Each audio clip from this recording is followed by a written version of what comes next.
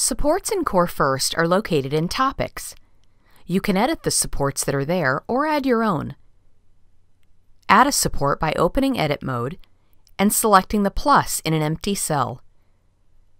Select Action and delete the action in the list.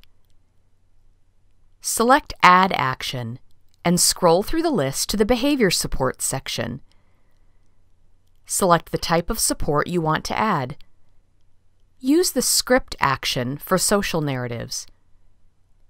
Now, edit each element. Select Content to add a label and an image.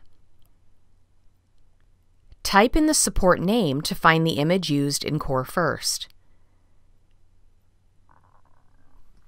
Select Done. Want to edit one of the supports that came with Core First?